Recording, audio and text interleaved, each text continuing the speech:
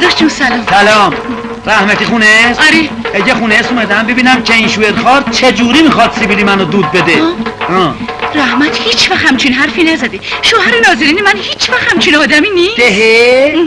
دیگه حالا شوهرت نازنین شده؟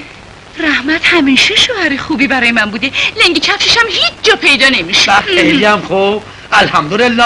پس انگار یه خبرهایی بوده ما که بخیل نیستیم آباجی. به هر حال من باید تکلیفم با رحمتی معلوم کنم. چه حقی دارد اینقدر پشت سر من لغز بخونه من تا ادبش نکنم از این خونه نمیرم. که نمیرم که نمیرم. داداش به خدا اگه دست به شوهرم بذاری هر چی دیدی از چش خودت دیدی. نفس بکشی نفس رو بند میارم. صحیح.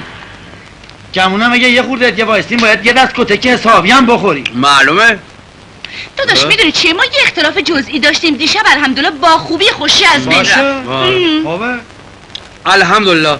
تازه زن و به هم دعوا می‌کنن آشتی می‌کنن دعوا می‌کنن آشتی می‌کنن. تو رو سننم من سننه پس منو سننم خب تو رو سننم جد آبادت استنانم چه شوهر خاری دارم. مثل اینکه حالا یه چیزی هم بده. کار شدم. آی رحمتی من تا تو رو به سلابه نکشم و ولکونت نیستم.